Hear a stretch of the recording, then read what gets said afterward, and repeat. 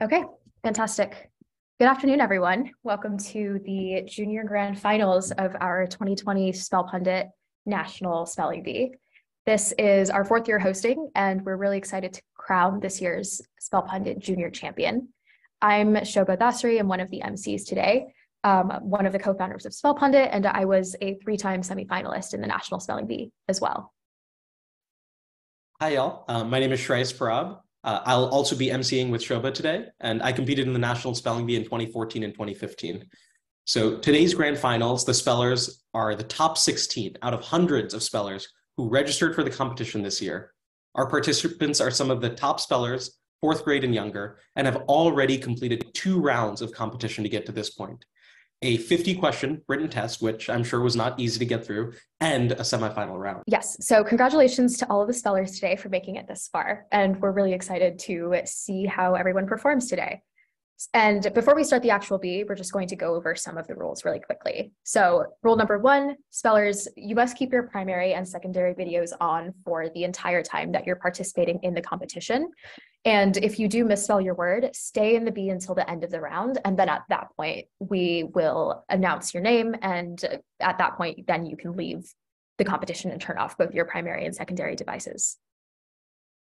Another rule is that we ask that all parents, siblings, and friends leave the room that the speller is in, and that they can watch the, the bee on the Spell Pundit Facebook page. So if there's any parents, siblings, or friends in the room, if you could just take a minute to get out and uh, watch from the comfort of some other room in the in the house. Every for every word, you'll spellers you'll be asked to spell a word, and if you misspell that word, you'll be eliminated. We'll have you stay until that until the end of the round. Make sure you keep both your devices on, and then after the round, you can watch the rest of the competition on the Spell Pundit Facebook page. Spellers will have two minutes to spell a word, and in the last 30 seconds, our timing judge will give you a warning, and the speller cannot ask any more questions in the last 30 seconds. Okay, this rule is really important, so pay attention. Spellers, when you are spelling, your hand must be in the frame and visible to the judges. So can everyone just show me what that looks like? Amazing. Okay, so you can do this, you can do this, you can write on your hand, whatever's but good for you, but just make sure that we can see your hands at all times, okay?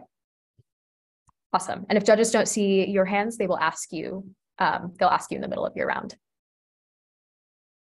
Another really important rule is that as you're spelling, if you want to restart spelling your word, no worries. Just make sure you make it clear to the judges that you're going to be restarting. Yep. And if you're going to ask a question about roots, you're allowed to do that. Just make sure that you give us the root you give us the definition of that root, and you give us the language of origin that that root comes from. And then our roots judge, Shourav, will let you know if you're correct, if you're on the right track, or if you're incorrect. And if you want to take a break at any point, please make sure to take a break only after your word in that round or when we give breaks between the rounds. Um, and you must leave your videos on during your break. So even though you're not there. Awesome. If there are any technical issues, then judges may choose to give you a different word if you didn't spell incorrectly prior to that technical issue. So if your video goes, or sorry, if your Wi-Fi goes out or anything like that happens, judges will just sometimes, in, in certain cases, judges may choose to just give you a different word for that round. And another important thing is that you're not allowed to get any external help. We know that it took a team of people, a village of people to get you here today, and we just want to see how you perform. So make sure to not use any additional help from things like a phone, an additional computer, or another person. Great. And last rule here if there are any appeals, then parents, you may come into the room at that point and send the appeal through the Zoom chat to the Zoom meeting host we want that appeal, send that appeal as soon as possible, but before the end of the round so that judges are able to then deliberate between rounds. Any decisions that are made by judges at that point are final. Now, uh, let's introduce some of our judges for today's bees. Um, our pronouncers today are Navneet Murali, if you want to wave hi. Yeah, yep. hi. Yep, perfect. Um, and then another pronouncer is Shrutika Padi. Do you want to wave hi as well? That way they know who you are. Perfect. So a little background on Navneet. Navneet was a two-time Scripps National Spelling Bee finalist and then was the champion of the 2020 Spell Pundit National Spelling Bee. And he's currently a junior in high school. Our other pronouncer today is Shrutika Padi. Shrutika was one of the octo champs at the Scripps National Spelling Bee in 2019. So her and eight other, or her and seven other people won. And she's also been a judge for the Spell Pundit Bee for four years now.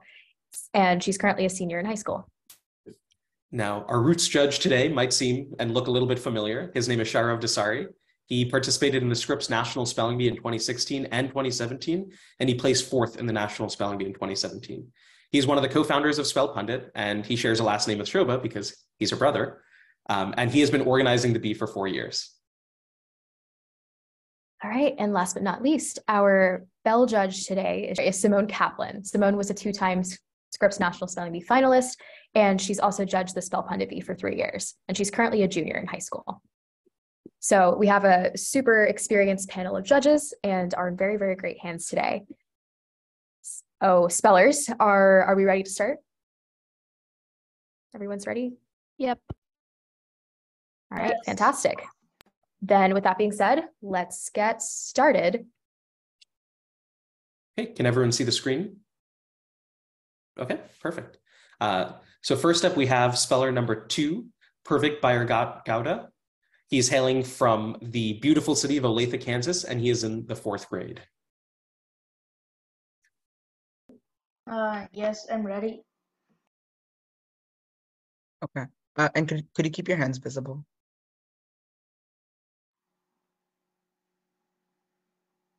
Okay. Uh, let's get started.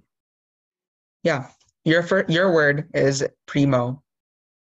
Primo. Can you please uh, have all the information? Sure. The word is primo. No alternate pronunciations.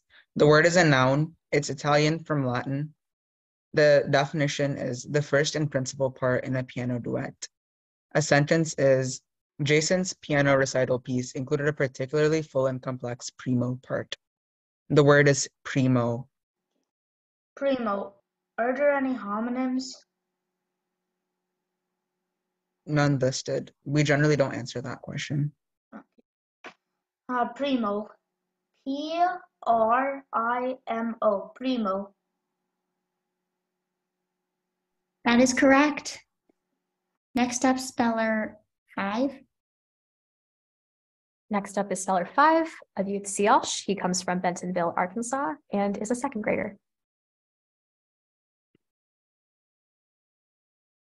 Hi. Hi. Your word is Andes. Could you repeat the word? Mm-hmm. Andes. Andes. Am I pronouncing it right? We generally don't answer that, but if I hear an incorrect pronunciation, I'll let you know. Andes. Can I have the definition of the word? Sure. Andes refers to a mountain range in Western South America. Andes.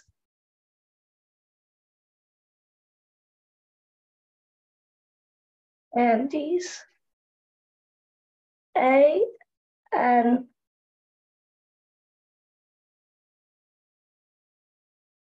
D-I-E-S, Andes. I'm sorry, that is incorrect. The correct spelling is A N D E S. Good job. Thanks for coming.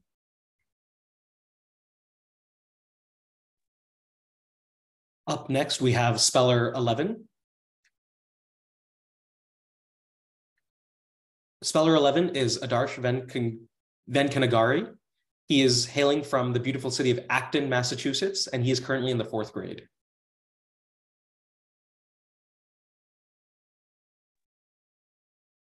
Um, hi. Hi. Your word is decree. Decree. May, all the, may, may I have all the information? Sure. The word is decree or decree. The word's a noun. It is Middle English from French from Latin. It's an official order issued by someone having legal authority. Everyone in the audience clapped and cheered when the president signed the decree on equal rights. The word is decree. Decree. D E C R E E. Decree. That is correct. Thank you. All right, our next speller is Divik Singh. He is from Atlanta and is a fourth grader. Speller 12. I. Hi. Your word is seism.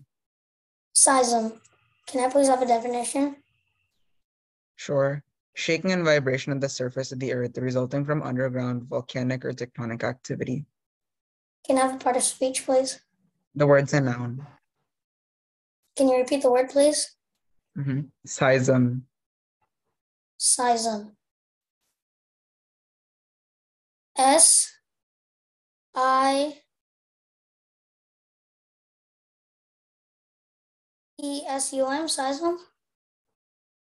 I'm sorry, that is incorrect. The correct spelling is S E I S M. Good job.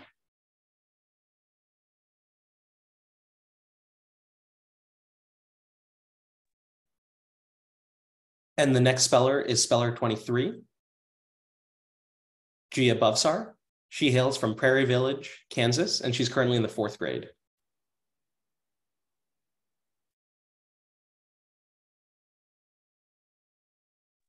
Hi. Hi. Your word is phyton. Um, phyton, can I have the definition, please? Sure. Phyton refers to the smallest part of a stem, root, or leaf that, when severed, may grow into a new plant. Phyton. Um, does this come from the Greek root phyte, meaning plant? Yes. Phyton. P H Y T O N, phyton. That is correct.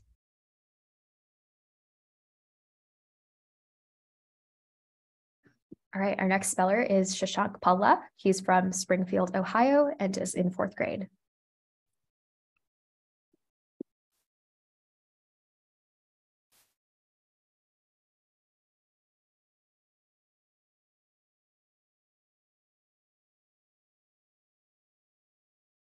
Your word is philia. Um, can I please have all the information? Sure. The word is philia. It's a noun. It's New Latin from Greek. It's a positive feeling of liking or love of friends. The Greek language distinguishes the three, the three, sorry, the different kinds of love as philia, eros, and agape. Philia. Philia. P H I L I A. Philia. That is correct. The next speller is speller 41.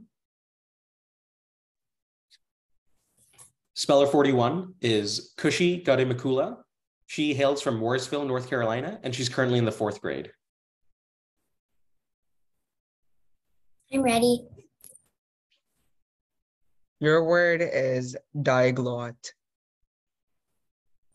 Can I have the definition? Sure. Diglot refers to a bilingual book or other word, other work. Diglot. Diaglot. No, the word is diglot. Diglot. Diglot. Diglot. Um, can I have the part of speech? Mm-hmm. It's a noun. Diglot. Can you use it in a sentence? Sure. The diglot in Hindi and English is certainly a repository of information for the younger generation. Diglot. Can I have the language of origin? Sure, it's Greek parts, from Greek parts. Can you repeat the word? Diglot. Diglot. D I G L O T. Diglot. That is correct. Thank you.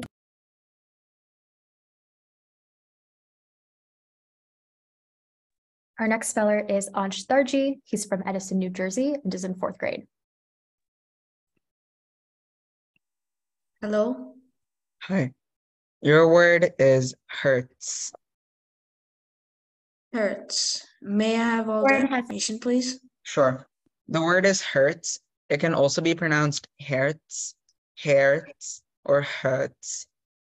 Uh, it's a noun. It comes from a German name. It's a standard unit of frequency equal to one cycle per second. And in a sentence, it's gamma waves are the fastest brain waves with a frequency between 38 and 80 hertz. Hertz. May you repeat, I mean, may you repeat the word again? Sure. The word is hertz.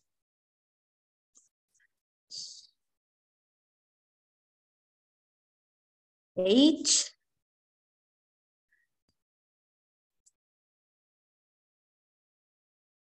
U R T S Hertz. I'm sorry, that is incorrect. The correct spelling is H E R T Z.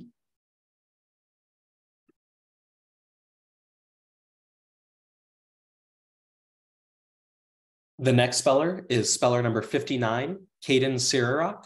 He hails from Ulysses, Euless, Texas, and he's currently in the fourth grade.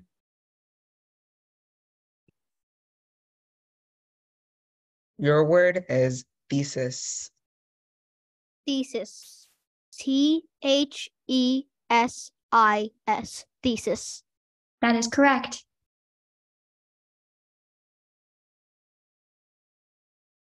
Our next speller is Samhita Gajula from Waxhaw, North Carolina, and she's also in the fourth grade. Hi. Hi. Could you keep your hands up? Thanks. Your word is Largo. Largo, can I have all the information? Sure. The word is pronounced Largo. It can also be pronounced Largo. Uh, it is an adverb. It's Italian from Latin. Used as a direction in music, it means in a very slow and broad manner. In a sentence, the music director explained to the students that the passage should be played largo. The word is largo. Largo. L A R G O. Largo. That is correct. Thank you. The next speller is speller number 75, Thavon Bhutani. He's from Austin, Texas, and he's currently in the third grade. The word is ramate. Would you please repeat the word? Could you keep your hands up? Yeah. Yeah. The word is ramate. They meet. Repeat the pronunciation once more. They meet. The word is pronounced ramate. They meet. Ramate. Uh, could you repeat that? Yes, it's pronounced ramate. They mate. Ramate, yes. Um, could I have the definition? Sure. Ramate means characterized by the presence of branches. Um, could I have the language of origin? Yes, you may. It is Latin plus English. Um, could you use the word in a sentence? Sure. Cynthia has a small deciduous shrub in her backyard with straight, ramate, and orthotropic roots. Ramate. They mate. R A M A D E. They mate. That is correct. Our next speller is speller 76, Celine Ugenbayar. She's from Lincolnshire, Illinois, and is in the fourth grade. Your word is unforeseeable. Unforeseeable. Um, can I have all the information? Sure. The only pronunciation of the word is unforeseeable. This word's an adjective, comes from three Middle English parts. It means incapable of being anticipated or expected. Sarah wondered to what extent should one bear responsibility for the un- unforeseeable consequences. Um, unforeseeable.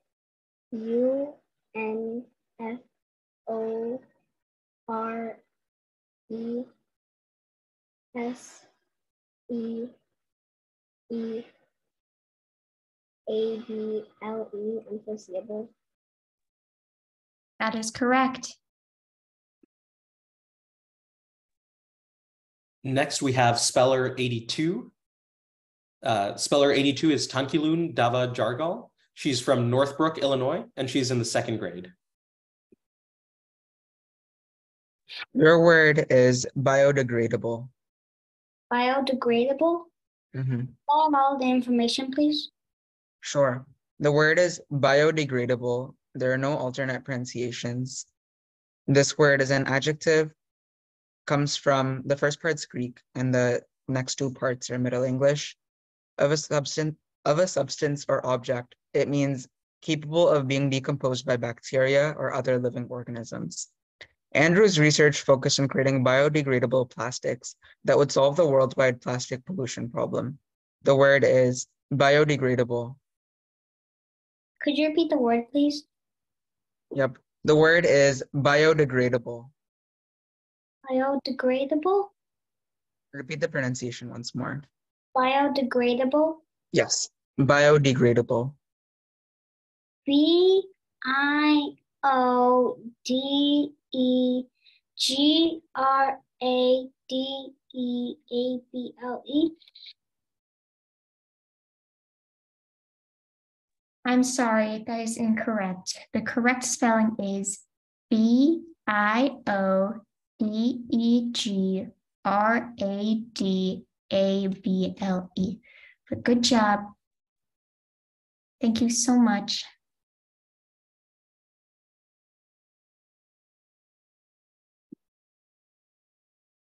All right, our next speller is speller 86, Viraj Chatterjee. He's from Allen, Texas, and is currently in the fourth grade.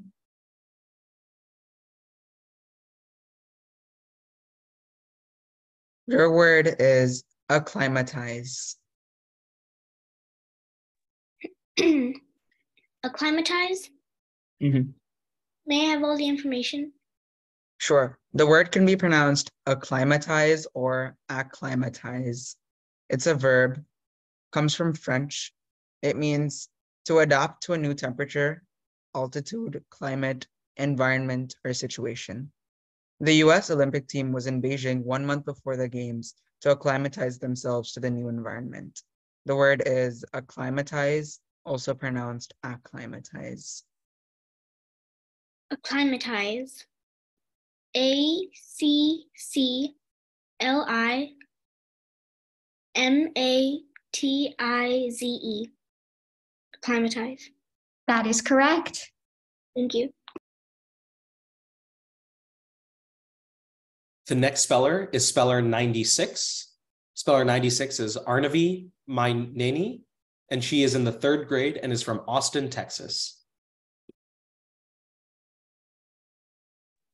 Hi. Hi. Your word is indecipherable. Indecipherable. Am I um sorry. Um can you please pre- repeat the word? The word is indecipherable. Can I please have all the information? Sure. The word's pronounced indecipherable, indes- indecipherable, indecipherable, or indecipherable. It's an adjective. Uh, comes from Middle English plus Latin, plus another Middle English part that's also derived from French. It means that cannot be interpreted or impossible to determine the meaning of. Example sentence is the carvings on the rock were indecipherable as they were written in a language thousand years ago. Indecipherable. Indecipherable. Um Can I please have the definition again? Sure. It means uh, impossible to determine impossible to determine the meaning of indecipherable. Okay. I N D I C I F E R A B L E. Indecipherable. I'm sorry, that is incorrect. The correct spelling is I N D E C I P H E R A B L E. Good job. Thanks for coming. Thank you. Our last speller this round is speller 99, Nikhil Gunta. He's from Fort Collins, Colorado, and is currently in the third grade. I'm ready. Your word is lassi. Could you please repeat again? Yep, the word is lassi. Could I please have all the information? Sure. The only pronunciation is lassi.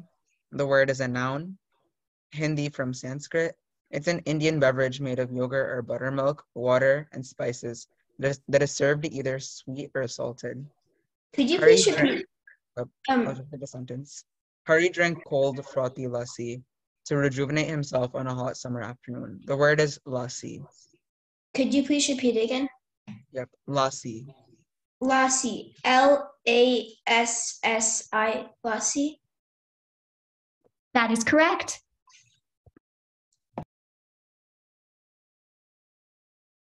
All right, that is the end of the first round. Congratulations, all spellers. You all did amazing. Now I know during breaks it can get kind of quiet and weird. So, and for the people watching on Facebook, we're going to be doing trivia in between the breaks. So, um, you know, just to keep you guys to keep everyone entertained. Um, so, Shobha, do you want to quickly share the the screen, the trivia questions? so, our first trivia question is: I know a lot of the spellers in RB are pretty young. They're all under the you know under fourth grade and below, uh, but there's even younger spellers too. So one of the trivia questions we have is who was the youngest competitor in the Scripps National Spelling Bee? Uh, the options are A. Akash Vukoti, B. Edith Fuller, C. Shriram Hadwar, D. Jacques Bailey. Um, and so if you are you know, watching on Facebook, feel free to comment it in the Facebook live stream. Um, and for any spellers who are here during the break, who have gotten back early, we can ask them. Um, and uh, we'll just give everyone a minute to read the question. And then it looks like Caden might have an answer for us if he wants to give it a shot. Do you want to unmute and give it a shot, Caden? Yeah, I think it's Akash Vukoti. Okay. Any any other suggestions? Ansh, do you want to go? I think it's Edith Fuller. Okay. Um, okay, how about this? So how about this? We'll just do a quick one. So I'll go through the options and raise your hand if you think this is right. So raise your hand if you think it was A, Akash. Okay. Raise your hand if it's B, Edith. Okay, raise your hand if it's C, Shriram. And raise your hand if it's D, Jacques. Okay. Do you want to go to the next slide, Shobha? Can we have the answer first? Yes, the next slide will have the answer. Oh. Maybe one too many. Okay. And the right answer is Edith Fuller when she was five years old. So she qualified when she was five years old and she competed when she was six. Um, but yeah, good playing. I think we might get started soon. Yeah. So takeaways, you can be young and you can still be a great speller.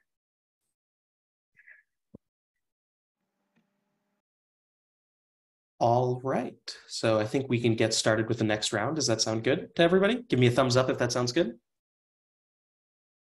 Awesome. Awesome. Perfect. So uh, just to give you some stats on the last round, there were five spellers eliminated. So all of them have tied for 12th place. Um, and now there's 11 spellers remaining. And we're going to get started with the next speller, speller number two, Pervik. He's here. And also, one thing we're going to do perfect before you spell is when spellers, when you are called to spell, say like hi or say something to Navneet. That way he knows that you're ready to spell. Does that sound good? Uh, okay. Okay, perfect. So Pravik, we'll get started with you, speller number two. Um, one fun fact about uh, Pravik is that his favorite subject uh, in school, or wait, yeah, his favorite subject in school is science. So Pravik, go ahead. Hi. Hi. Your word is hieroglyphic. Can you please repeat the word? Yep. The word is hieroglyphic. Hieroglyphic. Hieroglyphic. Hieroglyphic. Mhm. Can you can you please have all the information? Sure. The word can be pronounced hieroglyphic or hieroglyphic. It's an adjective from Greek parts, or no, um, never mind. It's it's an adjective. It's Middle French from Latin from Greek, and it means relating to a system of characters in the ancient Egyptian right. Let me repeat the definition also. Sorry, uh, relating to a system of characters in the ancient Egyptian system of writing, um, which are for the most part recognizable pictures of objects. A sentence is the hieroglyphic text above the figure's headdress were eroded and difficult to discern. Hieroglyphic. Hieroglyphic. H Y O R O G L Y P H I C. Hieroglyphic.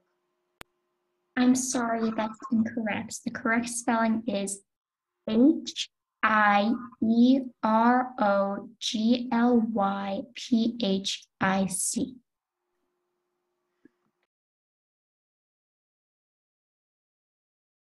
All right, our next speller is Adarsh Venkanagiri, speller 11. And fun fact about him is that his favorite subject in school is math. Hi. Hi. Your word is heliophile.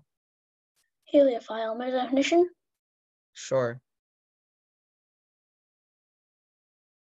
Second, heliophile refers to one attracted or adapted to sunlight. Um, heliophile. May I have um all the information? Repeat the pronunciation as you heard it. Heliophile. Yes, heliophile, I'll give you all the information. Uh, the only pronunciation is heliophile. It's a noun. It's Latin from Greek plus French. It means one attracted to or adapted to sunlight, specifically an aquatic alga adapted to attain maximum exposure to sunlight. Sheila spent the day calling herself a heliophile until she got a sunburn. The word is heliophile. Heliophile. Um, does this word come from the Greek root helio, meaning sun? Yes. Does this word come from the Greek root phil, meaning love? Yeah. Heliophile. H E L I O P H I L E. Heliophile. That is correct. Thank you. All right, next up we have speller number 23, Gia. Gia's favorite subjects in school are math and science. Hi. Hi. Your word is insubordination. Insubordination. Can I have the definition, please? Sure, insubordination refers to defiance of authority. Um, can I have the rest of the information, please? Sure. The word can be pronounced insubordination or insubordination. It's a noun. It's probably from French. And in a sentence, the corporal was discharged from the military due to insubordination. Insubordination. Mhm. I N S U B O R D I N A T I O N insubordination. That is correct. Amazing. Our next speller is speller 34, Shashank Palla, and his favorite subject in school is math. Hi. Hi. Your word is decoction. Um, can you repeat the word? Yes, the word is decoction. Um, can I please have all the information? Sure. The only pronunciation of the word is decoction. The word is a noun. It's from Middle English, from Middle French, or Late Latin. It's the act or process of boiling, usually in water, so as to so as to extract the flavor or active principle. In a sentence, Josh made his favorite, uh, his famous chamomile tea through decoction, where he boiled the chamomile in water to extract the flavor. The word is decoction. Auction. The pronunciation, Auction. decoction, yes. E E T O C E I O N. Decoction. That is correct. Up next, we have speller 41, Kushi. Kushi's favorite subject in school is history. I'm ready. Your word is kleptocracy. Can you repeat the word? Yep. The word is kleptocracy. Kleptocracy. Can I have the definition? Sure. It's a government characterized by rampant greed and corruption. Kleptocracy. Kleptocracy. Can you use it in a sentence? Sure. The small country's kleptocracy was the root of all its financial struggles. Kleptocracy. Kleptocracy. Can I have the origin? Sure. The first part is Greek and the second part is Middle French and Late Latin. Kleptocracy. Kleptocracy. Can you use it in a sentence? Sure. The small country's kleptocracy was the root of all its financial struggles. Kleptocracy. Kleptocracy. Wait, K. repeat the pronunciation once more. Kleptocracy. Correct. Yeah, go on. Kleptocracy. K L E P T O C R A C Y. Kleptocracy. That is correct. Thank you. Our next speller is speller 59, Caden Sirurak, and his favorite subject in school is English. Good Hi. choice. Hi. Your word is apoplectic. Apoplectic. Can I have all the information, please? Sure. The word is apoplectic. That's the only pronunciation. It's an adjective and it comes from French or Latin. The definition is extremely angry or furious. In a sentence, the robber was apoplectic with rage when the cashier refused to give him the money. Apoplectic. Apoplectic. Can I have the root? That's not a question we can answer. But if you think you know the roots, you can ask them. Well, what's the language of origin? French or Latin. All right. Can you repeat the word? hmm Apoplectic. Apoplectic. A P A P L E C T I C. Apoplectic. So close. The spelling is A P O P L E C T I C. Great job. All right, next up we have speller 65. Speller 65, Samhita Gajula. Her favorite subject in school is math. Hi. Hi. Your word is stymieing. Can you say the word again? hmm Stymieing. Can you give me all the information? Sure. The only pronunciation of the word is stymieing. It's a verb. It's perhaps from Scots plus English. Stymieing means to be an obstacle to or to prevent the admi- advancement or success of. Playing politics with this very important issue, senators are stymieing the development of transportation infrastructure. The word is stymieing. Stymieing. Stymieing, yes.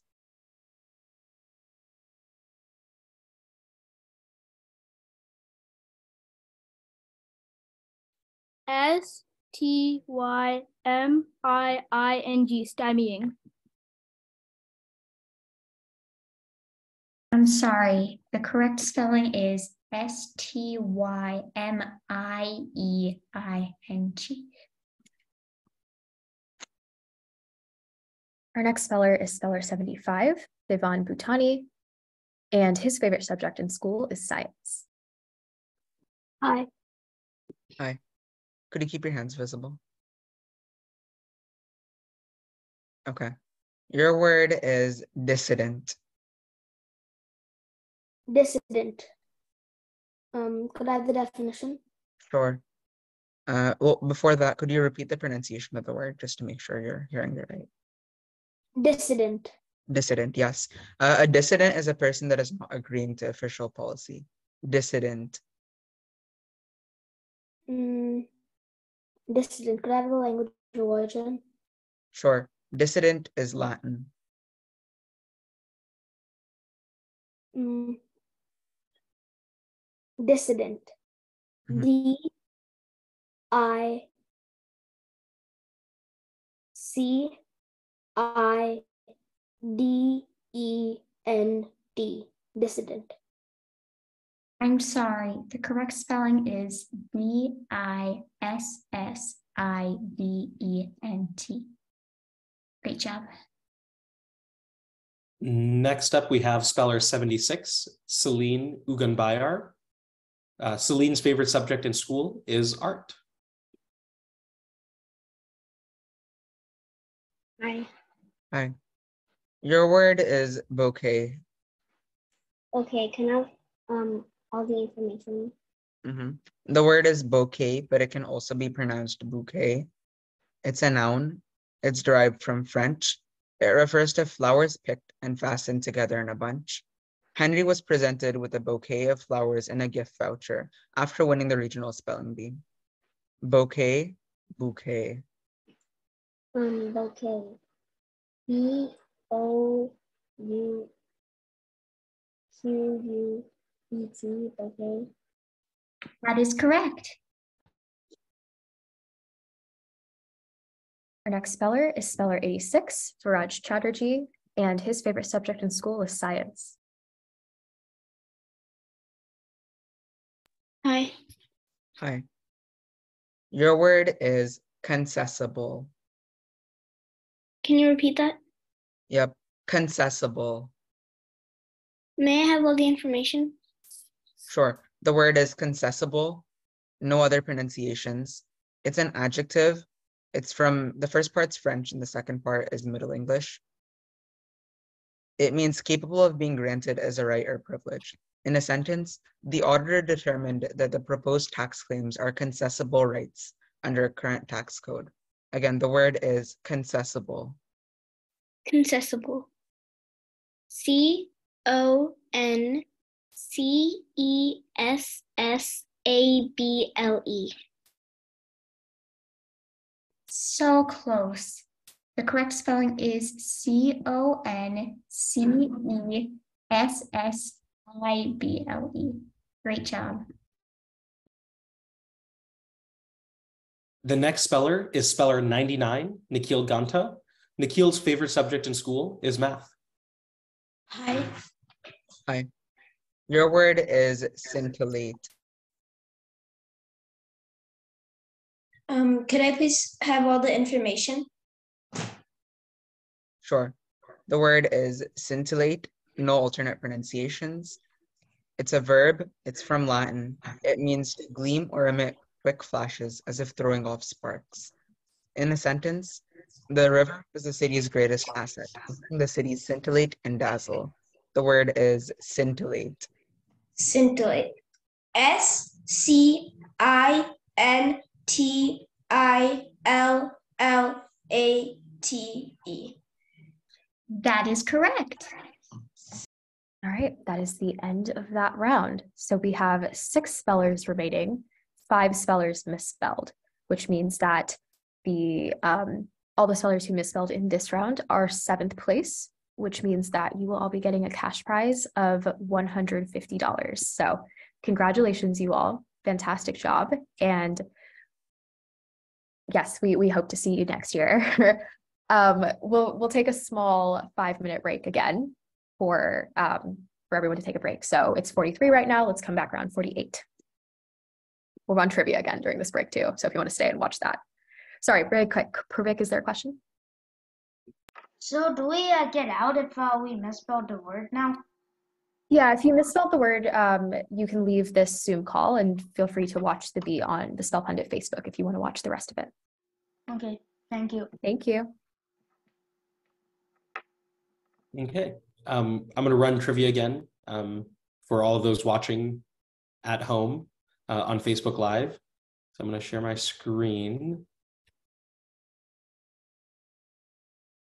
Okay.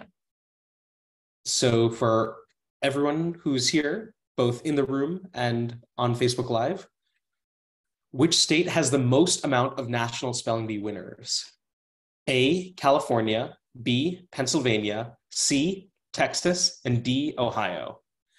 Um, so what we're going to do is, again, I know there's a lot of people still on break, but um, yeah, we'll we'll take some answers uh, when Okay, so what, what I'll do is I'll read out all the options and then raise your hand if you think that's the right option. So if you think it's option A, California,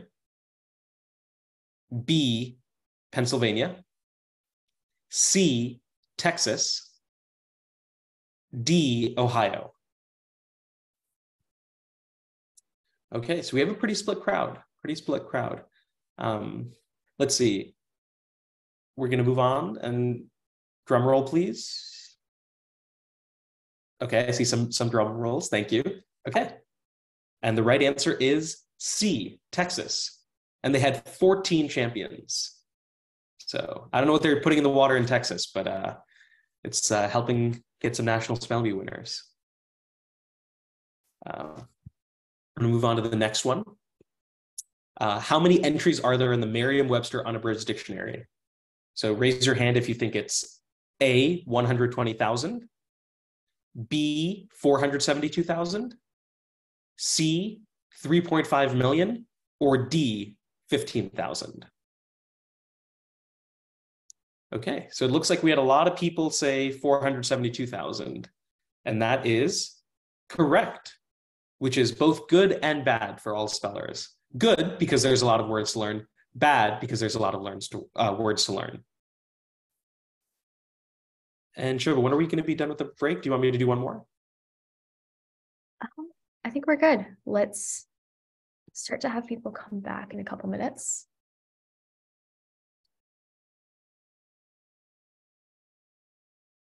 And note, there will be no award for winning trivia, just ultimate bragging rights.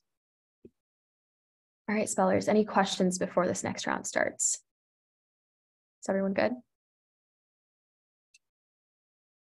Okay, just a quick note, if, again, if you misspell in this round, just make sure to stay on the Zoom call until the end of the round so that we can, if we need to do any tiebreakers after this point, or if we need to um, announce anything for you, just make sure you stay on until the end of the round. All right, everyone's back. So let's go ahead and get started with round three. Awesome. Or yeah, spellers, are all of you ready? All right, Shreyas, take it away. Yeah, perfect. So to start out round three, we have speller number 11, Adarsh Venkanagari. Um, so um, Adarsh's favorite word is bibliophile. Hi. Hi. Your word is sibilance. For the word against? The word is sibilance. This word also has a near homonym, so I'd be careful about the information about us. We all, we have all the information. Sure. Sibilance or sibilance. The word is a noun. It's Latin plus English. It means of, characterized by or producing a hissing sound like that of the s sound. The silence in the hall was broken by the sibilance of mass sniffing. Sibilance. Sibilance. S I B I L A N C E. Sibilance. That is correct. Thank you. Hey, our next speller is speller 23, Chia Bavsar, and her favorite word is Buddha-tata. Hi. Hi. Your word is noctodiurnal. Um, can you repeat it? Sure. The word is noctodiurnal. Um, can I have the definition, please? Sure. Comprising a sequence of day and night. Noctodiurnal. Um, can I have the language of origin, please? Uh, yep. New Latin plus Middle English. Um, does it come from the Latin root noct, meaning night? Yes, it does. Um, can you repeat the language of origin? It's New Latin plus Middle English, derived from Latin. Noctodiurnal. N O C T O D I U R N A L, noctodiurnal.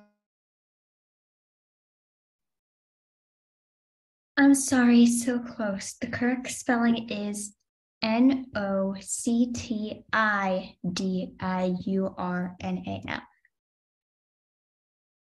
All right, um, the next speller is speller number 34, Shashank Pala. Um, Shashank's favorite word, luckily, he doesn't have to spell this word, but his favorite word is pneumono ultramicroscopic silicovolcanoconiosis.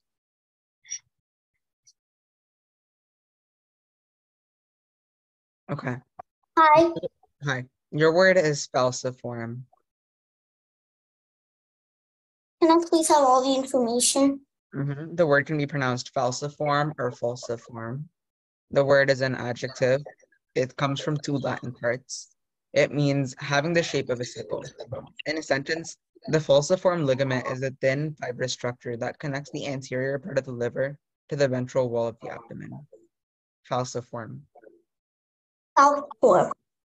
F A L C I F O R M. Falciform. That is correct.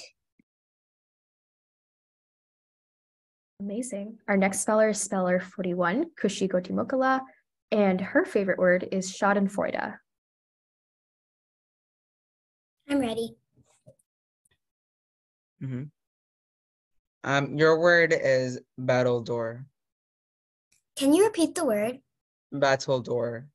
Battledore. Can I have the definition? Sure. A battledore is a light, flat bat or racket that's used in striking a shuttlecock. shuttlecock. The word is battledore. Battledore. Can I have the language of origin? Sure. Middle English from probably Old Provençal from Latin. From Latin. Battledore. Can you use it in a sentence? Sure. Robert threw his battledore across the court. Battledore. Battledore. Battledore. Can you repeat the origin? Sure. Battledore is Middle English from probably Old Provençal from Latin. Does this word have any alternate pronunciations? Just the one, battledore. Battledore. B A T T L E D O R. Battledore. I'm sorry, that's incorrect. The correct spelling is B A T T L E D O R E. Good job. Thank you. All right, up next we have speller number 76, Celine. Um, Celine's favorite word is hors d'oeuvre.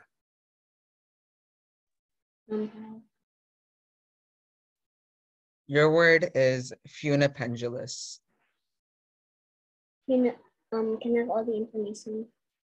Sure. The word is funipendulous, funipendulous, or funipendulous. Those are the different ways of pronouncing it. Uh, this word's an adjective. It's from Latin. It means suspended by a rope or cord. The funipendulous decorations arranged for the festival are very beautiful. Again, the word is funipendulous.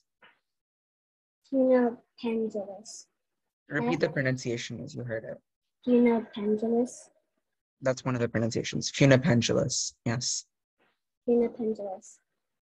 F U N A P E N D U L O U S. Funipendulous.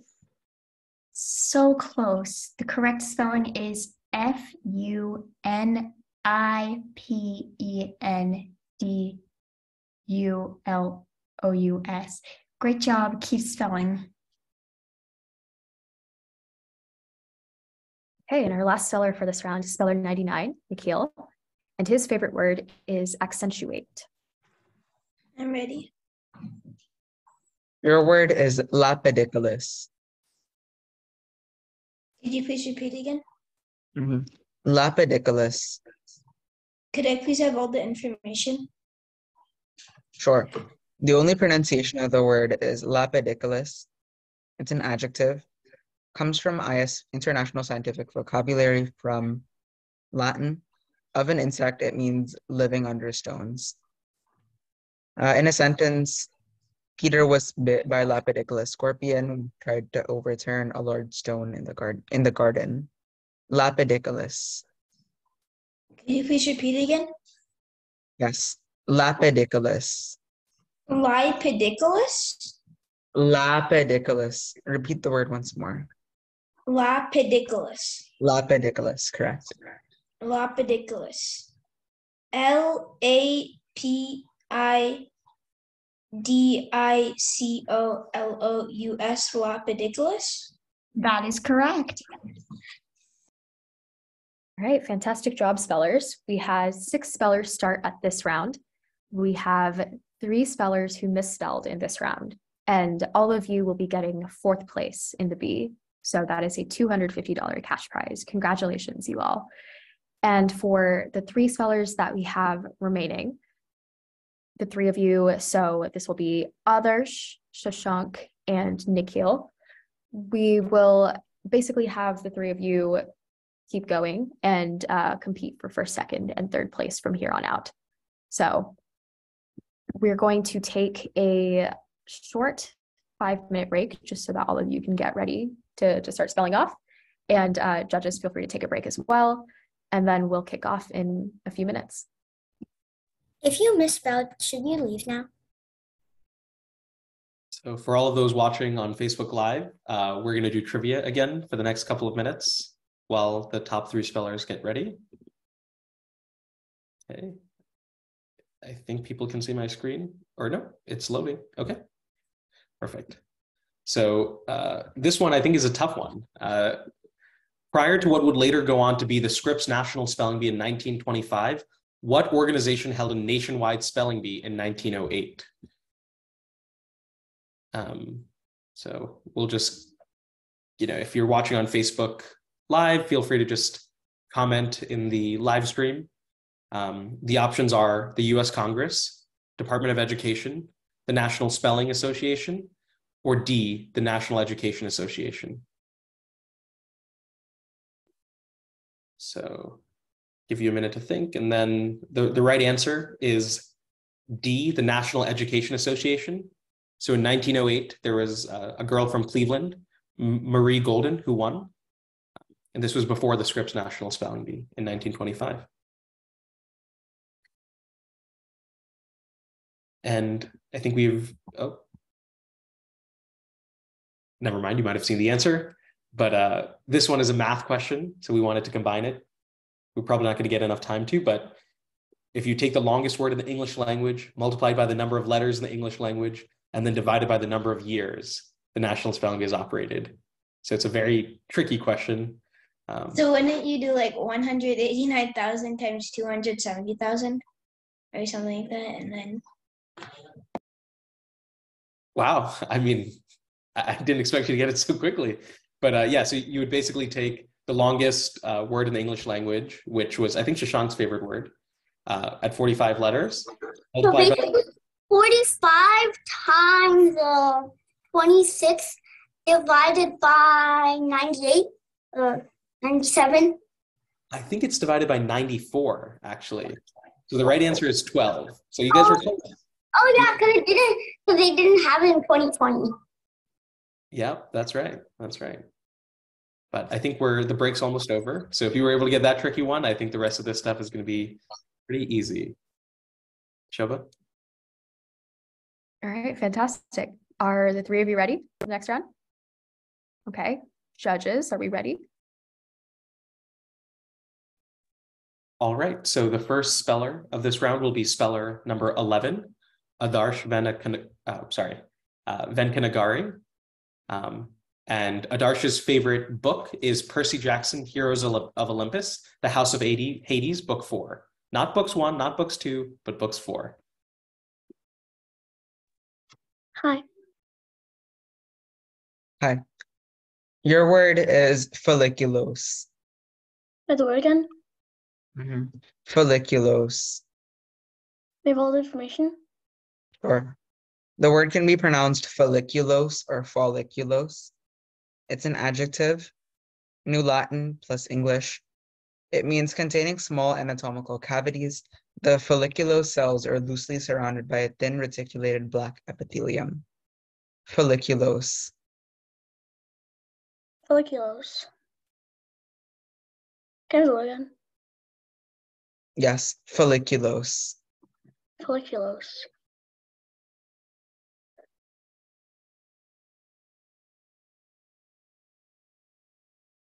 Folliculose.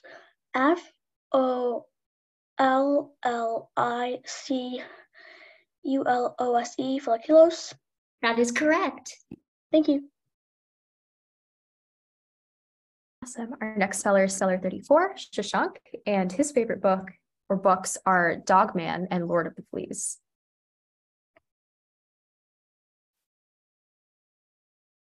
Your word is gerontology.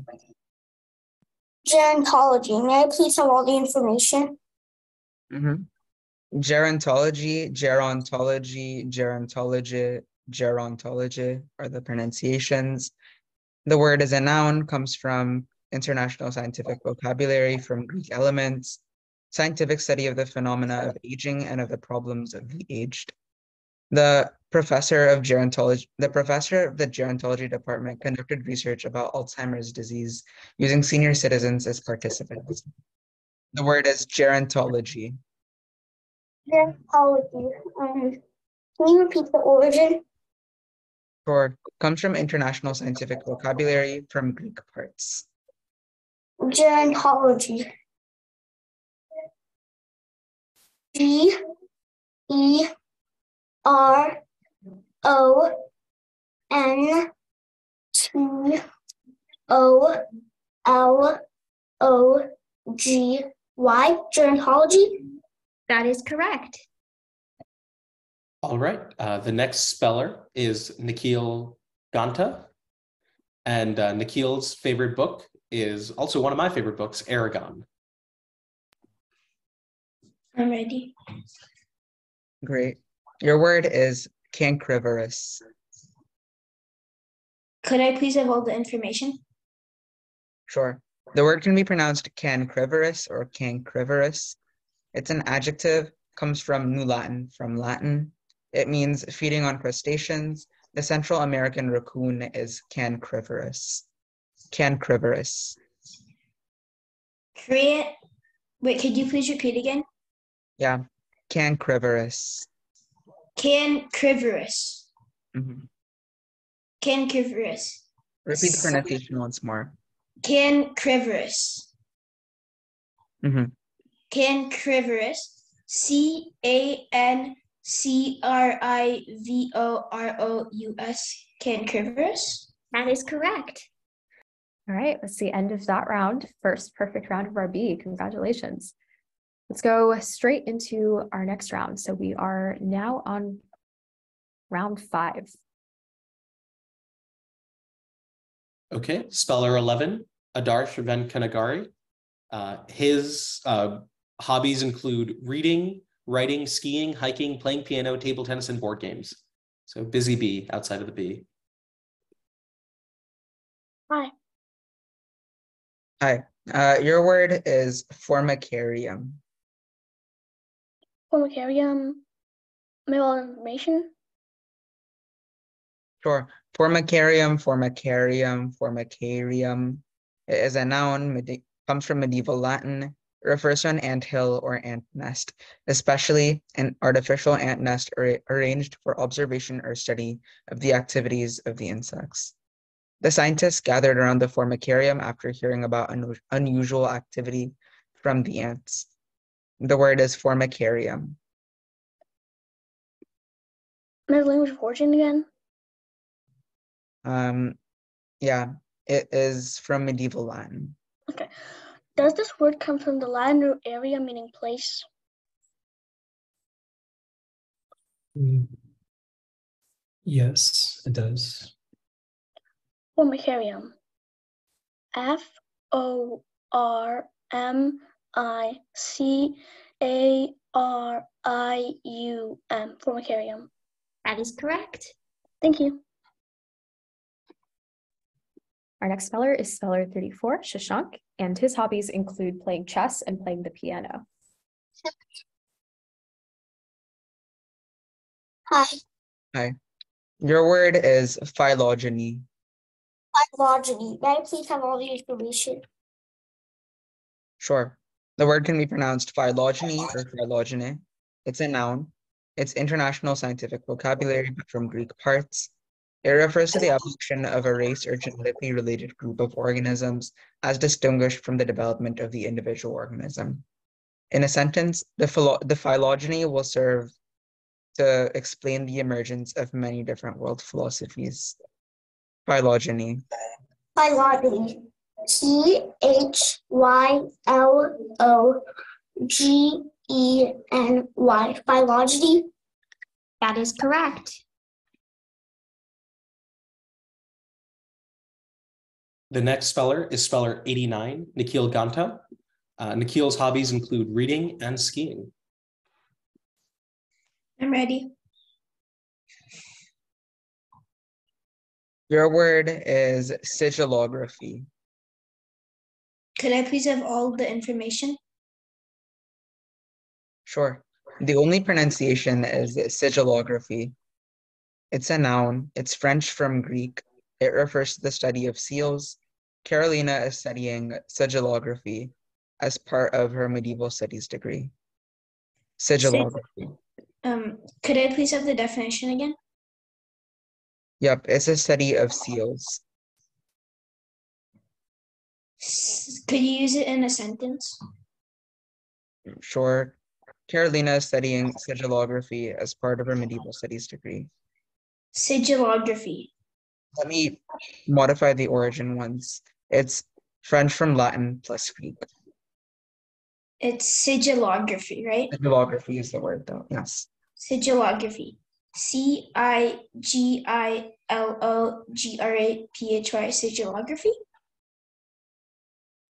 I'm sorry. The correct spelling is S I G I L L O G R A P H Y. Great job. Congratulations. Thank you.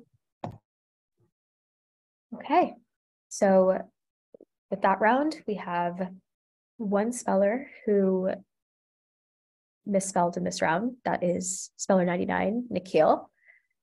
Nikhil, we uh, congratulations, first of all, on, on this accomplishment, and you did a fantastic job today. So because of the third place finish, we will be giving you a $500 cash prize. So congratulations. Thank you. Bye. Thank you.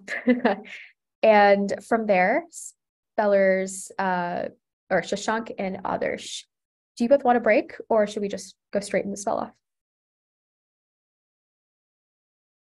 I'm good. Okay. I'm good. All right. I like it. Ready. Okay. Yeah. Yeah. So spellers from here, what we're going to do is for the both of you, we will be giving you, um, you'll essentially be spelling off here. So um, we'll do less of the between round transitions and we'll basically have you both spell in order and within 25 words, if one of you misspells and the other one spells correctly, um, and then you do a championship word, that speller will be con- crowned as the champion. And if both of you spell through 25 words and we don't declare any champion, then we will declare you both co-champs. Does all of that make sense? Okay, all right. Let's let's start then with this next round, round six. Speller number 11, Adarsh uh, Venkanagari. Um, his role model is his mom. Hi. Hi. Your word is thalassocrat. The word again? Yep, thalassocrat. Real information? Sure. The word is thalassocrat. It's a noun. The first part is Greek and the second part is Greek derived French. It refers to one who has maritime supremacy. In a sentence, the thalassocrat decided to embark on the adventure of maritime battle. Thalassocrat.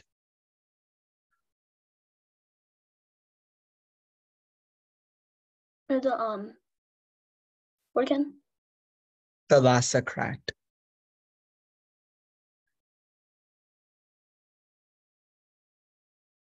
Hey, one more time. Mm-hmm. The lassocrat. Mm-hmm. The lassocrat.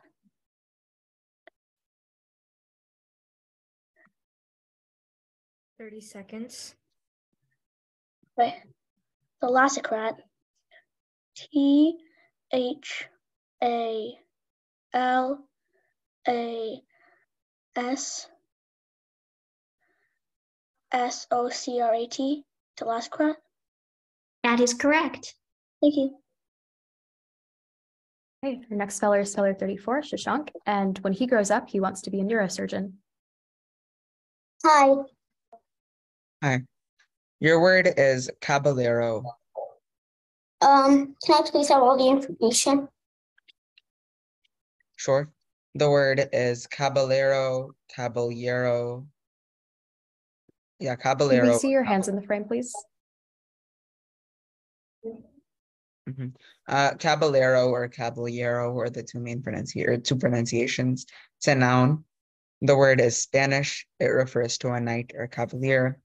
Ben wore the uniform of a caballero, caballero from the early 19th century for the international fash- fashion contest. Um, yeah. Um, The pronunciation of the word. caballero, Yes, caballero or caballero. caballero. T A B A L L E R O. Caballero. That is correct. All right, let's move on to our next round, round seven. Speller 11, Adarsh Venkanagari.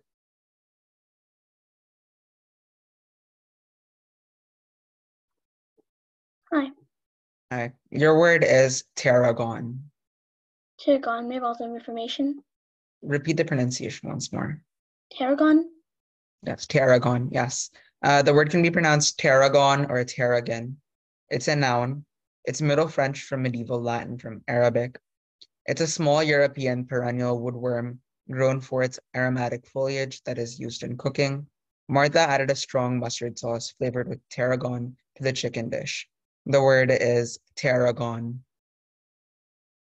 Tarragon. Are there any alternate pronunciations?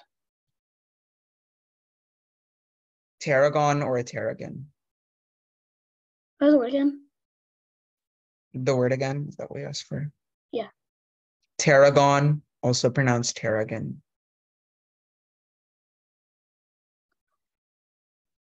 Thirty seconds.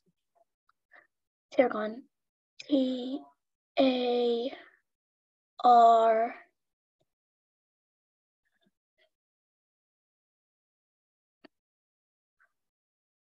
R A G O N. Tarragon. That is correct. Thank you. Next up, speller thirty-four, Shashank. Hi. Hi. Your word is oleraceous. Can you Did you say something? I didn't hear you clearly. Can you repeat the word? Sure. The word is oleraceous. Oleraceous. Mhm. Can I please have all the information? Yes. Only pronunciation is Could we- Could we have you keep your hands in the frame? The only pronunciation is oleraceous. It's an adjective. It's from Latin. It means having the qualities or nature of a herb for cookery. Robert investigated the, the effect of vigor level in the performance of six oleraceous species seeds. The word is oleraceous. Oleraceous. O L E R A C E O U S. Oleraceous. That is correct. All right, end of another perfect round. Let's move on to round eight. Speller 11, Adarsh Venkanagari. Your word is colabent. Here's the word again. Colabent. Colavent. Yes. May I, have all the- may I have may I have all information? hmm Colabent or colabent are the two pronunciations. It's an adjective from Latin. It means collapsing in the middle, sunken, or falling in. Tom tried to remove the colabent termite nest on the wall with a trowel. The word is colabent. Colabent. Are there any um alternate pronunciations? Colabent. It's pronounced either colabent or colabent. By the origin? Uh, it comes from Latin parts. By the word again? Yes, colabent or colabent. 30 seconds. Colabent. C O L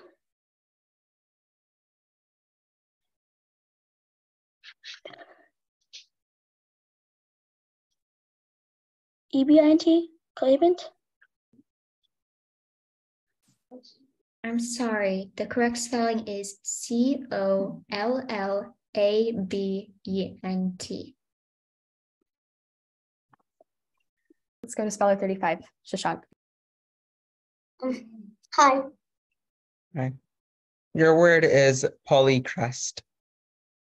Polycrest. Mhm. Polycrest. May I please have all the information? Yes, the word is polycrest. No alternate pronunciations. The word is a noun. It's from medieval Latin. It's a drug of drug. It's a drug medicine of value as a remedy in several diseases.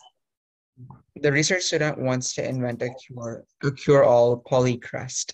The word is polycrest. Um, Repeat the pronunciation of the word as you heard it. Polycrest. Polycrest. Yes, polycrest. Um, can you please repeat the origin?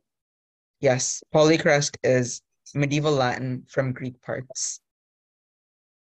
Um, does this come from the Greek poly meaning many? Yeah. Okay. P O L Y C R E S T polycrest. I'm sorry, the correct spelling is P O L Y C H R E S T.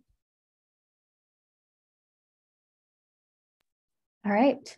Since both of you misspelled in that round, both of you are still in the bee. So let's get started with round nine with the both of you. Let's start with speller 11, Adarsh. Your word is derrick. Derrick. We have all the information? Yes, the word can be pronounced derrick or derrick. It's a noun. It's an comes from an English name. The, it refers to the framework or tower over a deep drill hole for supporting the tackle for boring or for hoisting and lowering. Due to improvements in technology, the size of a typical derrick has decreased by more than 50%. The word is derrick.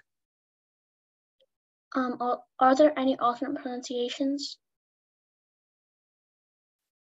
Yes, it can be pronounced derrick or derrick.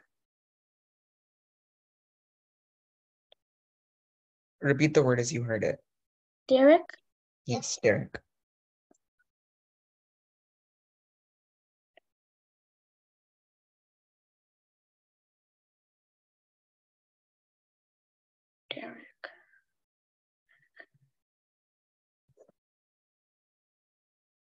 Derrick. 20 D, seconds.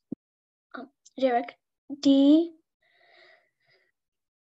E R R I C K, derrick.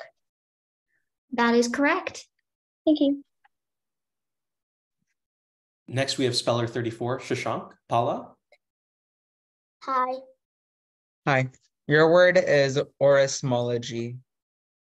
orismology. Orthology. Orismology, yes. Orthology. May I please have all the information? Sure. It can be pronounced orismology or orismology. It's a noun. First part is Greek, the second part, or- or it's Greek plus English. It's a science of defining technical terms of a particular subject or field of study. The legal assistant had to learn the orismology and jargon related to litigation. The word is orismology. Orthology. Repeat the pronunciation. Orismology. Yes, orismology.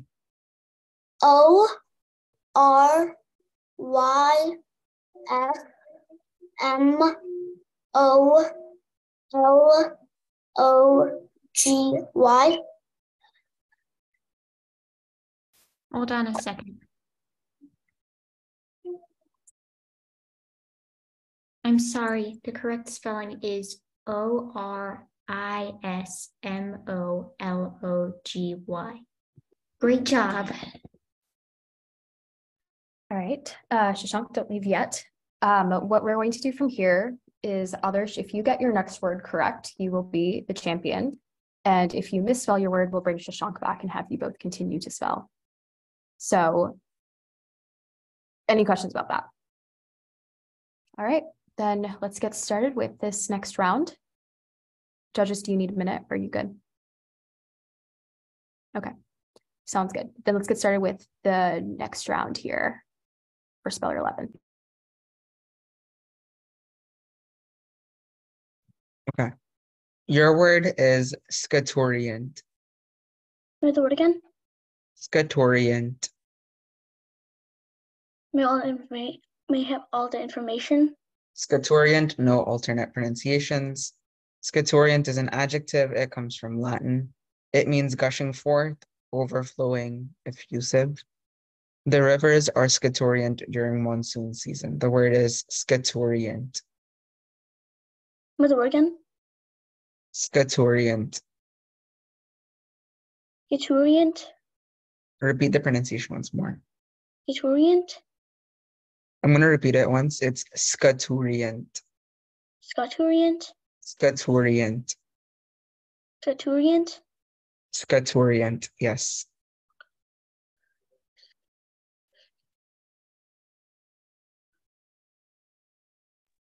Thirty seconds. Scaturient. S C A T U R I E N T, scaturient. That is correct. Congratulations. Thank you. All right. Congratulations to our champion, Adarsh Venkanagari, on the incredible achievement. Um, you must be scaturient with emotions right now after the win.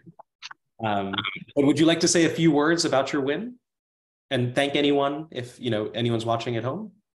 Yes. Um, I would like to thank um my parents um for being supportive, like especially my mom for like teaching me all the like um like my roots and uh, like introducing me to spelling bees. Um, and I would like to um thank my teachers for being um so like kind and like supportive.